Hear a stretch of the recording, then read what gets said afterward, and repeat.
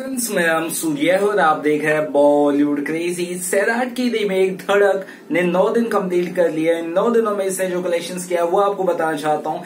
ये फ़िल्म बहुत बढ़िया ब्लॉकबस्टर हिट तो नहीं साबित होगी सैराट की तरह बट लेकिन ये प्रॉफिटेबल मार्जिन में ज़रूर होगी और कहीं ना कहीं इसे एक हिट टैग ज़रूर मिल जाएगा इजिली वो क्यों? चलिए मैं आपको बताता हूँ। इसके कलेक्शन की अगर बात करें तो फ़र्स्ट ईयर कलेक्शन का करीबन करीबन 8.71 करोड़ था, दूसरे दिन 11.04 करोड़ था, ग्यारह करोड़ के ऊपर, तीसरे दिन तेरह दशमलव नौ दो करोड़ 13.92 करोड़ चौथे दिन कलेक्शन का 5.52 करोड़ सॉरी 5.82 करोड़ था, और पाँचवें दिन इसका कलेक्शन 4.76 करोड़ था और छठे दिन का कलेक्शन करीबन करीबन 4.06 करोड़, सातवें दिन 3.55 करोड़ और आठवें दिन का जो कलेक्शन आया 2.61 करोड़ था, यानी कि दो दशमलव छह करोड़ और नौवे दिन का कलेक्शन आया 4.02 करोड़। यानी कि लगभग लगभग पचपन परसेंट का ग्रोथ नज़र आया है कलेक्शन में सैटरडे से संडे के हिसाब से।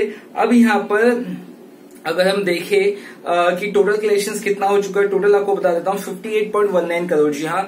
अट्ठावन दशमलव एक नौ करोड़ इस फ़िल्म का कलेक्शन है, यानी कि अस्सी से पचासी करोड़ जो मेरी बात पहले मैंने कही थी। मुझे ऐसा लग रहा है कि यार ये सैटरडे से संडे अभी मतलब जो सैटरडे कलेक्शन मैंने बताया, वो इतना बढ़िया है कि आई थिंक वापस से इतना मैं श्योरिटी मेरे को वापस हो रही कि अस्सी करोड़ तक आराम से यहाँ से जा सकती है। आपको क्या लगता है कहाँ तक कलेक्शन होगा? क्योंकि ये जो जिस हिसाब से ग्रोथ इसने पकड़ा है संडे को भी करीबन करीबन पाँच करोड़ कमाएगी, यानी कि सिक्सटी करोड़ वीकेंड में होगा।